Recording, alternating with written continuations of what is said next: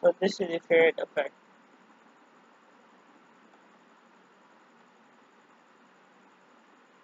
Fade show, fade show, fade show.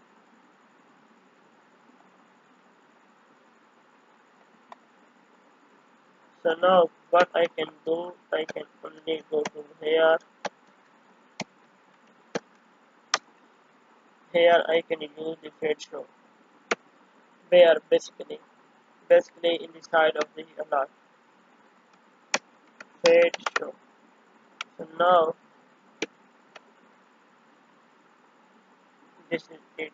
But before there wasn't the fade show. Actually there was two.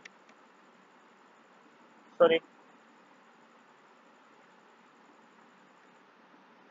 Alert danger. So now but when I use the fade show, fade show, then